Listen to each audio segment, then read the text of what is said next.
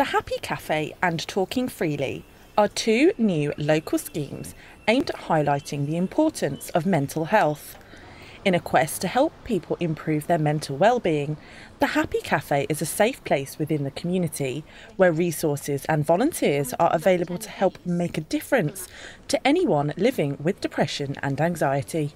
From my own experience, it is incredibly helpful that you learn from other people.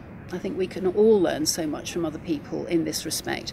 And one of the most important things is to know that that you're not alone in this situation, that there are other people out there that um, have been perhaps through a similar experience to you.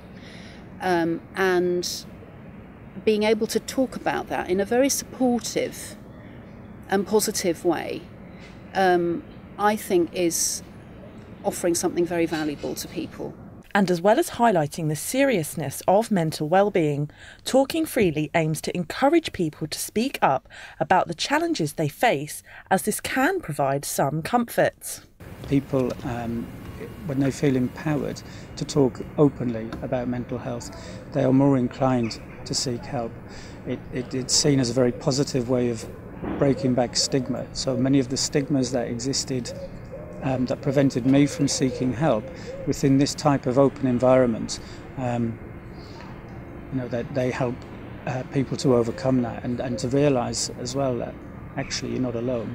But when you're in that moment yourself and in the throes of, of mental illness, it can seem like you're the only person in the world it's happening to. And actually talking freely exposes that, you know, that isn't the case. The Happy Cafe and Talking Freely are two separate projects, but are running side by side to offer a variety of support. But how can both be beneficial?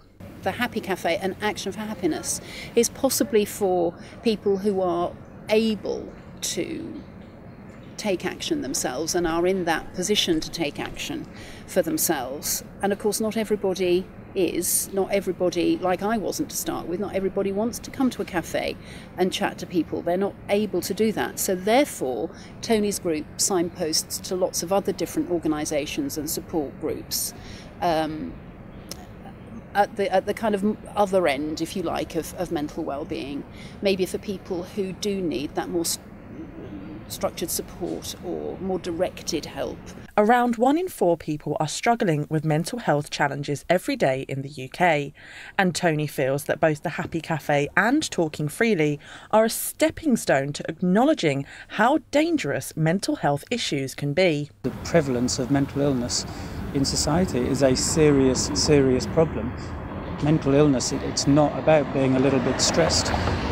It's, it's an illness that causes death and, and we can't we have to accept this and face up to it it's as serious as chronic physical health problems and for Tony, the idea of talking freely about mental well-being has stemmed from his own personal experience of living with depression. I realised that I'd been very reluctant to seek help, very reluctant to speak honestly and openly about it, very reluctant to admit that I had a problem, and that really is down to social attitudes and the stigma that surrounds mental illness. Um, you know, for a variety of reasons, I didn't want to be labelled.